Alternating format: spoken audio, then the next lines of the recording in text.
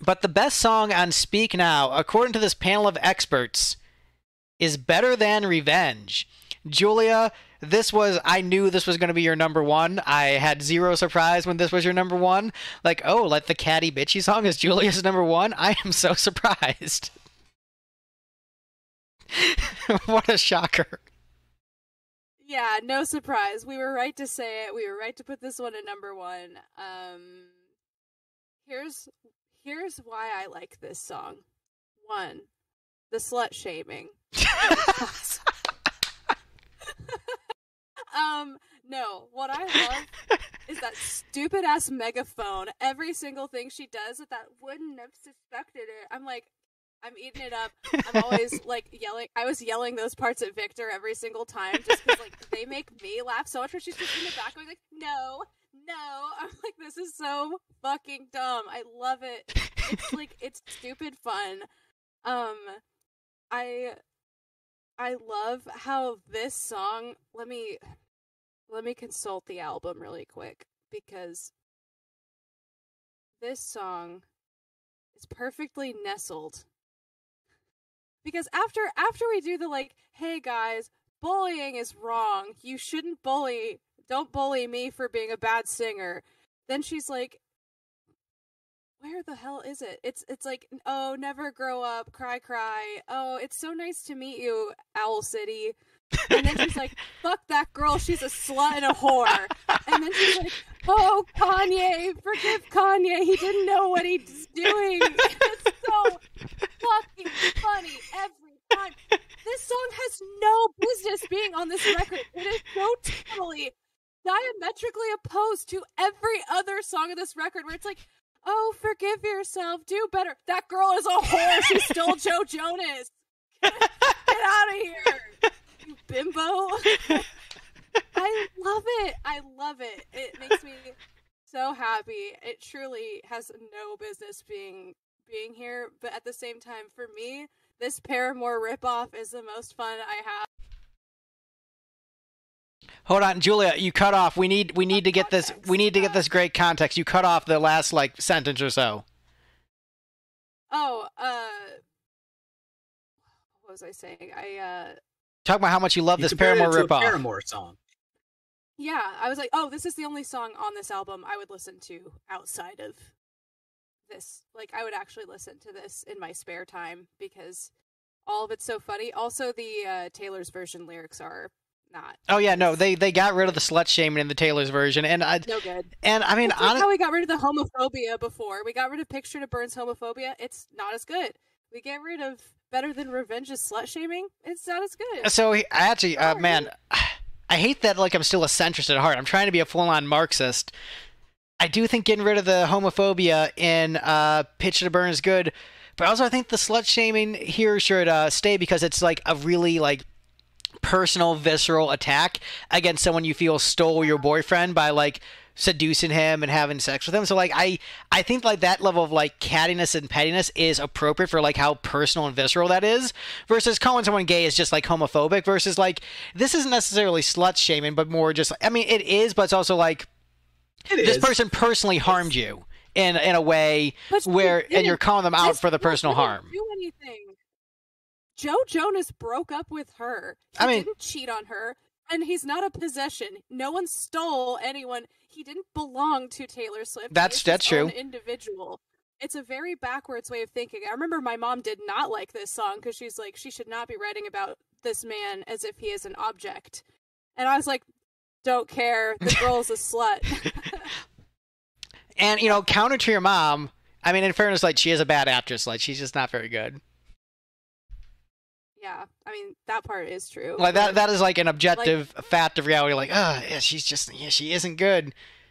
She is. The line about stealing other people's toys on the playground, while very funny, is also a bit horrifying when you remember that this is a human being this she is human. talking about. It does go.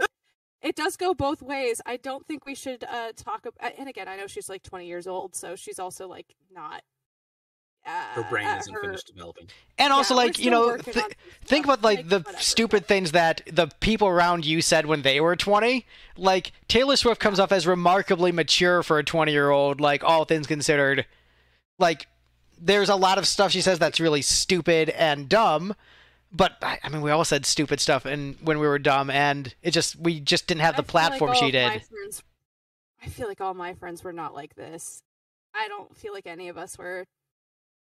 And to be fair, I was that friend too, where if I heard any of my friends say something like this, I'm like, I'm actually not backing you on this one. I know we're always supposed to have each other's backs as as friends, as girls, but like I fully would call people on and did call people on stuff like this and saying it or I'm like yeah I, I get that you're mad at this girl like that's fine but like we don't need to bring it to this level but you know we all we all uh we all work in our own ways so and and to be fair the entertainment value i get from this song makes me go don't care i will sing every word i love this song I mean, the cattiness is through the roof on this song, and it's like it is fun. And I think the problem with like the Taylor's version that it like it tries to remove some of the venom and cattiness from it, but like that's the point. And so, like you can you know say this isn't who I am anymore. I don't want to necessarily continue to do that and have as negative feelings towards this person.